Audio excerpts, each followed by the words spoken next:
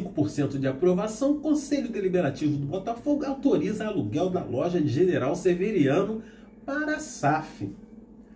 Por 105 votos a 4 e uma abstenção, o Conselho Deliberativo do Botafogo aprovou o contrato de locação com a SAF pela operação da loja na sede do Clube General Severiano, informou Anderson Mota. Conforme a informação do blog do Anselmo Góes, do Jornal Globo, o investimento para a reforma do espaço início das operações será de 200 mil e a obra deve durar por dois meses. Além disso, o clube associativo receberá da SAF um aluguel de 42,5 mil por mês, com prazo que pode variar de 3 a 5 anos. Haverá também espaço na loja para esportes olímpicos. A reabertura da loja fechada desde 2021 tem a ver com o lançamento dos uniformes da Reebok, que deve ocorrer ainda no mês de julho.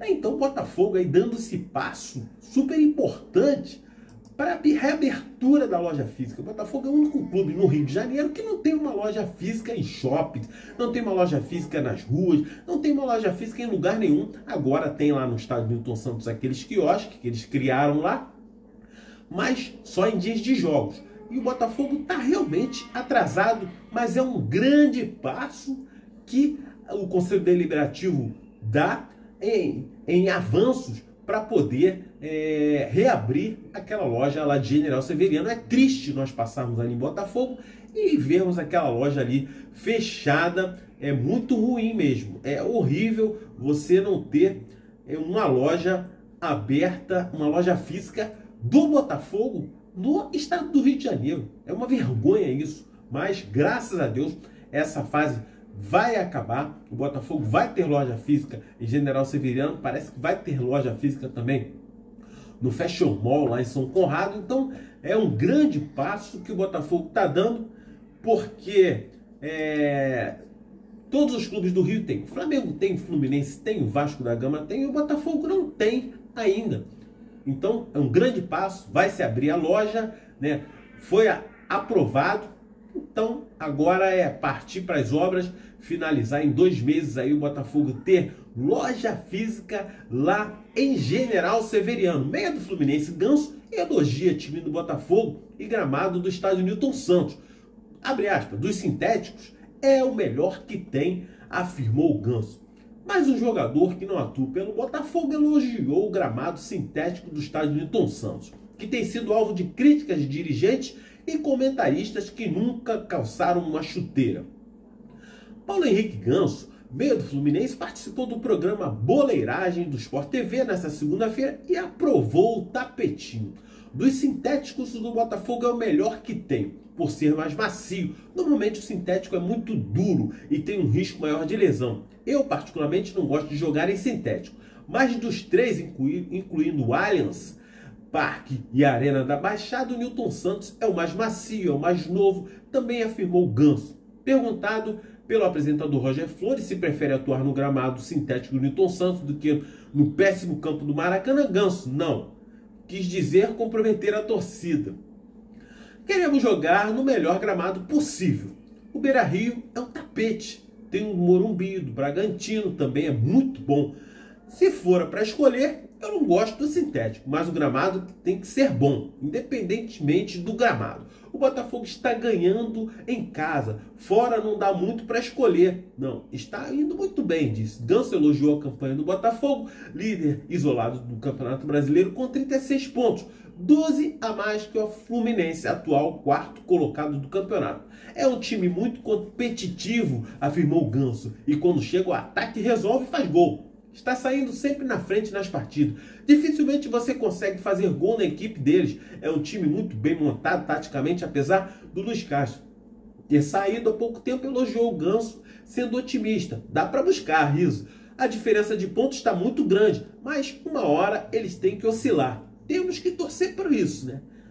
E o time que está embaixo tem que conseguir ganhar e encostar ainda tem essa dificuldade. Então, Ganso aí participando do programa Boleiragem e elogiando o gramado do estádio Newton Santos, dizendo que dos sintéticos é o melhor que ele já jogou. É, e elogiando o time do Botafogo, dizendo que é muito difícil fazer gol no Botafogo, dizendo também que a diferença está muito grande.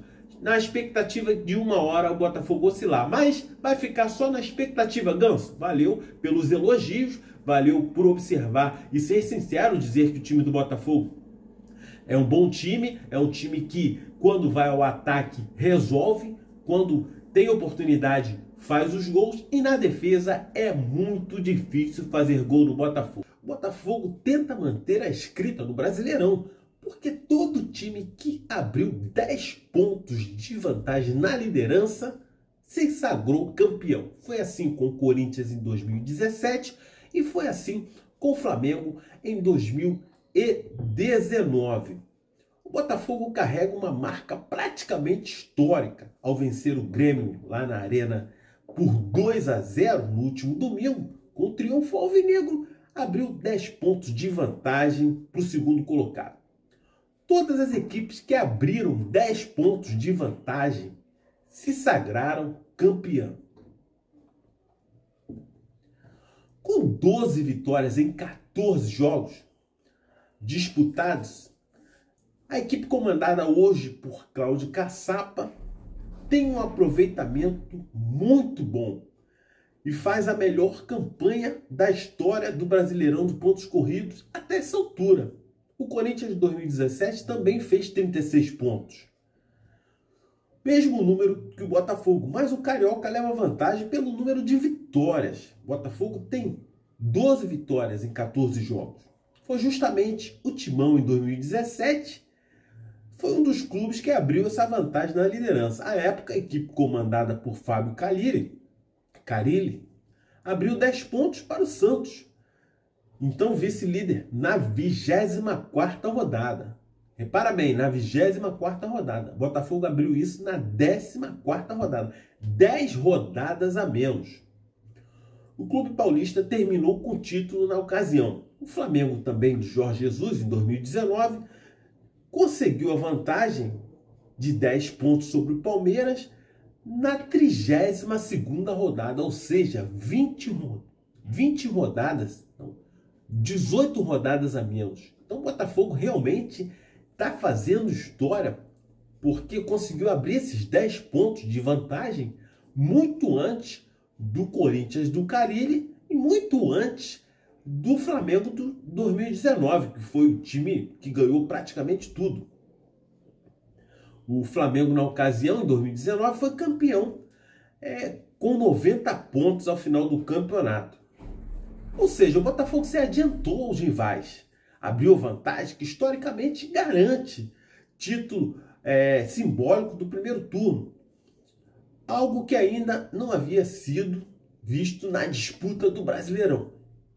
Já com Bruno Lage confirmado para ser o novo treinador da equipe, o Alvinegro volta aos gramados já neste sábado, às 21 horas, pelo Campeonato Brasileiro. Mas nessa quarta-feira, o Botafogo vai enfrentar o patronato na Argentina pelas, pelos playoffs que antecedem as oitavas da Copa Sul-Americana. O Botafogo que não avançou em primeiro colocado no seu grupo, né, vai ser obrigado a disputar esse playoff antes das oitavas. Então, o primeiro jogo a ser disputado na quarta-feira, quarta-feira agora, lá na Argentina, contra o Patronato, que é um time de segunda divisão do Campeonato Argentino. O Botafogo tem plenas convicções é, de vencer esse adversário pela Copa Sul-Americana e avançar aí e trazer aqui para disputar, decidir aqui no Newton Santos essa vaga para as oitavas da Copa Sul-Americana.